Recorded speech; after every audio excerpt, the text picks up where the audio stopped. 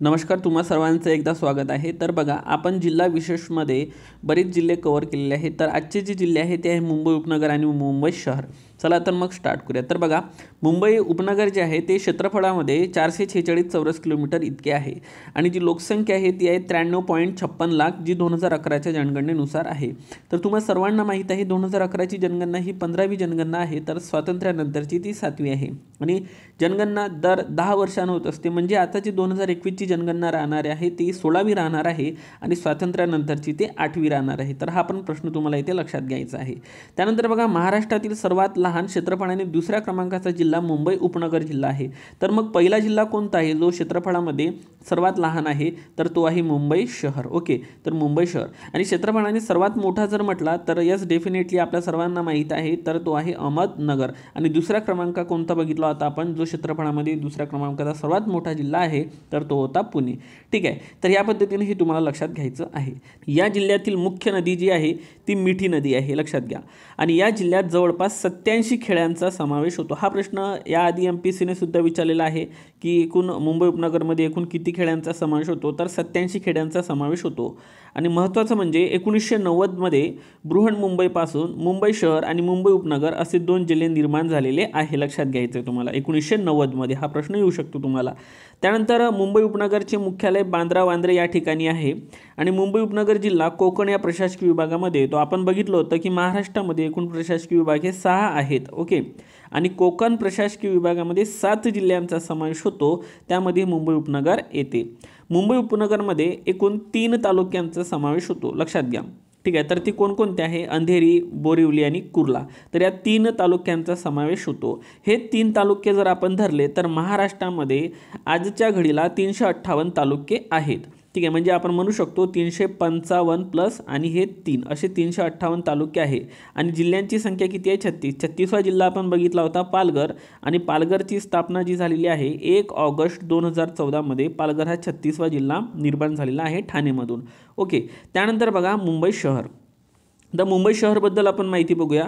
मुंबई शहरचं जे क्षेत्रफळ आहे स्टुडंट ते आहे एकशे सत्तावन्न चौरस किलोमीटर. ठीक आहे म्हणूनच क्षेत्रफळामध्ये सर्वात लहान जिल्हा मुंबई शहर आहे आणि दुसऱ्या क्रमांकाचा लहान जिल्हा मुंबई उपनगर बघितला. लोकसंख्या जी आहे दोन हजार अकराच्या जनगणनेनुसार ती आहे तीस पॉईंट नऊ लाख. ओके तुमच्या लक्षात आलेलं असेल. त्यानंतर बघा महाराष्ट्रातील क्षेत्रफळाने सर्वात लहान जिल्हा येस डेफिनेटली आणि मुंबई शहरमध्ये विशेषतः एकही तालुका नाही आहे बघा. आपण मुंबई उपनगरमध्ये तीन तालुके बदले बघितले. बघी लक्षात घ्या.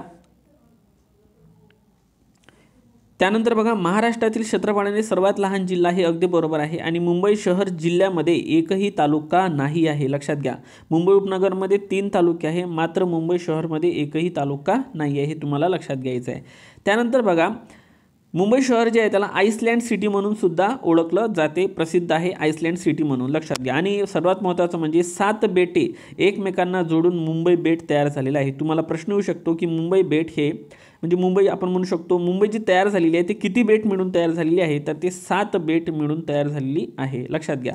आता मुंबई शहर आणि उपनगर आहे. त्यानंतर बघा इतर माहिती. भारतातील एकूण अठरा रेल्वे झोन आहे. म्हणजे भारतामध्ये एकूण अठरा रेल्वे झोन आहे. त्या अठरा रेल्वे झोनपैकी महाराष्ट्रामध्ये आणि विशेषतः मुंबईमध्ये दोन रेल्वे झोन आहे. त्या रेल्वे झोनचे नाव आहे पश्चिम रेल्वे आणि मध्य रेल्वे. लक्षात घ्या. आणि अठरावा झोन जो झालेला आहे अलीकडे तो झालेला आहे विशाखापट्टणम. हे पण तुम्ही करंट अफेअरमध्ये लक्षात घ्या.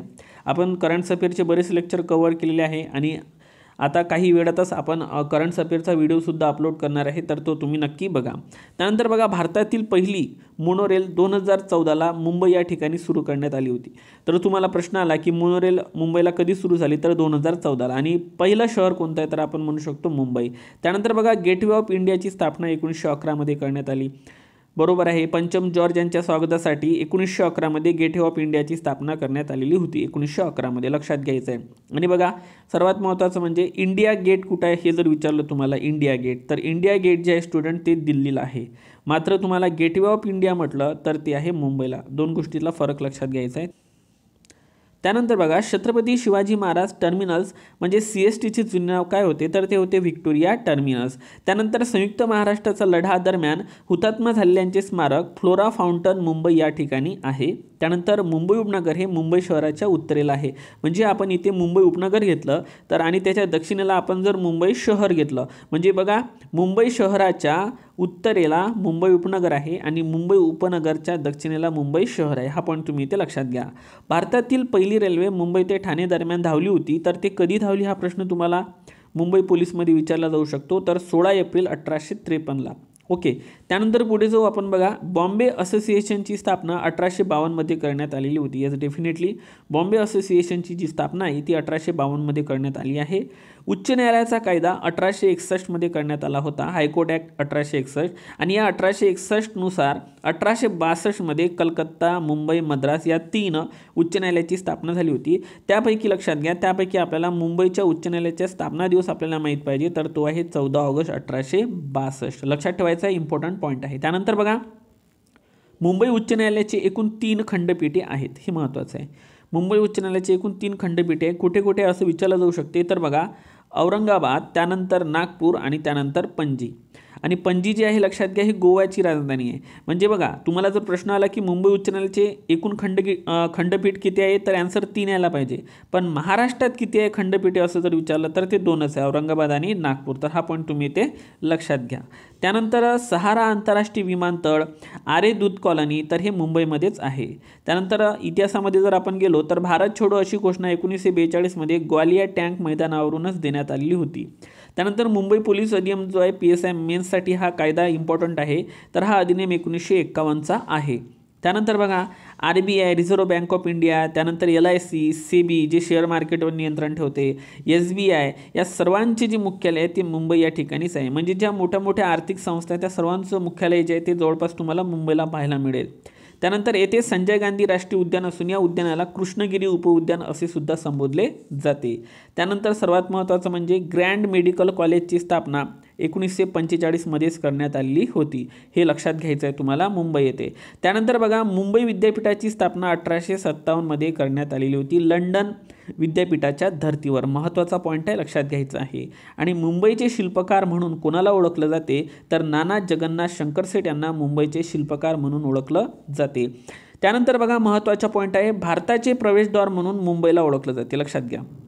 आपण त्या दिवशी बघितलं अजिंठ्याचे प्रवेशद्वार जळगावला म्हटलं जाते तर भारताचे प्रवेशद्वार हे मुंबईला म्हणून ओळखलं जाते किंवा म्हटलं जाते. आणि प्रिन्स ऑफ वेल्स संग्रहालय कुठे आहे? हा जर प्रश्न आला तर ॲन्सर असला पाहिजे मुंबई. त्यानंतर हा प्रश्न येण्याची दाट शक्यता आहे. तारापूरवाला मत्स्यालय कुठे आहे? तर हे सुद्धा मुंबईला आहे. त्याचप्रमाणे एक मणिभवन आहे. मणिभवनसुद्धा मुंबईला आहे. आणि त्यानंतर बघा मोस्ट इम्पॉर्टंट पॉईंट मुंबई येथे सव्वीस जुलै दोन हजार पाचला महापूर आला होता. तर ही तारीख नैसर्गिक आपत्ती म्हणून बऱ्याच पेपरमध्ये विचारलेली आहे. तर सव्वीस जुलै दोन हजार पाचला मुंबईला काय आला होता? महापूर आला होता. पावसाचं म्हणजे जास्त प्रमाणात पाऊस पडलेला होता. तर या पद्धतीनं आपण मुंबई शहर आणि मुंबई उपनगर आणि इतर माहिती आपण कवर केलेली आहे. आय होप की तुम्हाला हे लेक्चर कळलेलं असेल. All the best for exam and thank you so much